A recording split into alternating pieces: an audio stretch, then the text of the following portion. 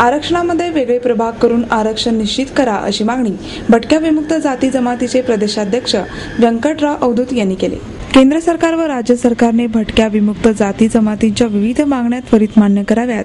तसेच भटक्या विमुक्तांची वर्गवारी करून सध्या असलेल्या आरक्षणामध्ये वेगळे प्रभाग करून आरक्षण निश्चित करावे आणि त्यांना वेगळ्या सवलती द्याव्यात अशी मागणी राष्ट्रवादी काँग्रेसच्या भटक्या विमुक्त जाती जमाती सेलचे महाराष्ट्र प्रदेशाध्यक्ष व्यंकटराव अवधूत यांनी पत्रकार परिषदेत केली. वर्षाखेरीपर्यंतच्या या मागण्या सरकारने पूर्ण कराव्यात अन्यथा जनजागृती आंदोलन सुरू करून निवडणुकीतील मतदानाबाबत निर्णय घेतला जाईल असाही इशारा देण्यात आला. केंद्र सरकार व राज्य सरकारने भटक्या विमुक्त जातींना अठरा टक्केच आरक्षण कायम करून त्यांना मिळणाऱ्या शिक्षण नोकरीच्या आरक्षणाबरोबरच निवडणुकीतही मोठ्या प्रमाणात आरक्षण देऊन भटक्या विमुक्त जाती जमातींच्या विकासाच्या हातभारासाठी प्रयत्न करावे अशी प्रमुख मागणी केली. अन्यथा निवडणुकीच्या मतदानाबाबत भटक्या विमुक्त जाती जमातींना विचार करावा लागेल अशीही माहिती अवधूत यांनी पत्रकार परिषदेत दिली. आज जी प- पत्रकार परिषद जी आयोजित केली होती ती भटक्यामुक्ताच्या ज्या काही मागण्या आहेत आणि अडचणी आहेत त्या मांडण्यासाठी केली होती. भटक्यामुक्तामध्ये पासष्ट वर्षापासून प्लॅनिंगचं बजेट दिलेलं नाही. म्हणजे सामाजिक न्याय विभाग असेल आघाडी सरकार असेल किंवा यू पी ए सरकार असेल ह्या दोन्ही सरकारने आम्हाला प्लॅनिंगचं बजेट दिलेलं नाही.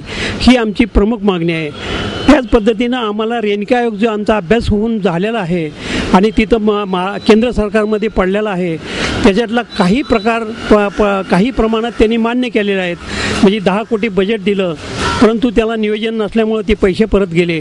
पाचशे कोटी हाऊसिंगसाठी दिलं परंतु त्याचं नियोजन नसल्यामुळं तेही परत गेले. याचाच अर्थ होतो की काही प्रमाणात रेणके आयोग लागू केलेला आहे. त्याचप्रमाणे जनगणना चालू करण्यासाठी माननीय पवार साहेबांनी प्रयत्न केले आणि त्या पद्धतीने जनगणना होऊन ते ड तशीच डंप झालेली आहे. ते त्याची आऊट करायला पाहिजे म्हणजे ते लोकांपर्यंत पोहोचली पाहिजे ही मागणी तिथं थांबलेली आहे. आणि ह्या रेणके आयोगामध्ये मागण्या असल्यामुळं आम्ही सातत्यानं रेणके आयोग ही लागला तर आम्हाला ग ग्रामपंचायतपासून विधानसभेपर्यंत लोकसभेपर्यंत आम्हाला आरक्षण मिळेल. अन्यथा आम्हाला काही मिळणार नाही याची आम्हाला पूर्ण खात्री असल्यामुळं आम्ही हे मागणी करत आहोत. आणि त्या आमची जी भूमिका आम्ही आज आता सुरुवात केलेली आहे की पहिलं पासष्ट वर्षापासून आमच्या भटक्या मुक्ताला काही मिळालं नाही. हे गव्हर्नमेंटचा एक जी आर म्हणजे आता हाऊसिंगसाठी जे जी आर काढलेला आहे त्यांनी त्याच्यातही कबूल केलं आहे की पासष्ट वर्षापासून ह्या लोकांना काही दिलेलं नाही. भटक्या मुक्ताला घर नाही शेतात शेत नाही आणि बाजारात पत नाही हे गव्हर्नमेंटने मान्य केलं आहे परंतु काही देत नाहीत. आणि दोनशे शंभर कोटी त्यांना सोय केली होती परंतु महाराष्ट्रात एकही वसाहत तयार निर्माण झाली नाही. महाराष्ट्रामध्ये जे न- संस्कृत नेते माननीय वसंत यशवंतराव चव्हाण होते त्याच्या नावाने ही संस्था चालू आहे.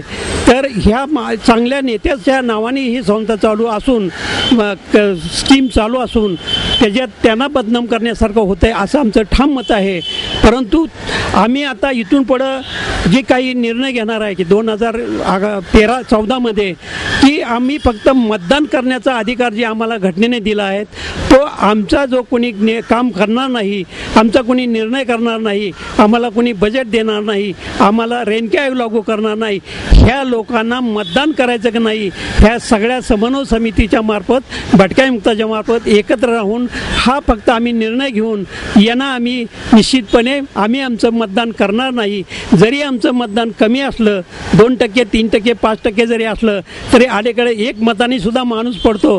सोनिया गा इंदिरा गांधी पडल्या वाजपेयी पडले असे चांगले चांगले नेते सुद्धा पडलेले आहेत. त्याचमुळं आमच्या दोन पाच टक्क्यांनी काय फरक पडेल ही निश्चितपणे निवडणूक झाल्या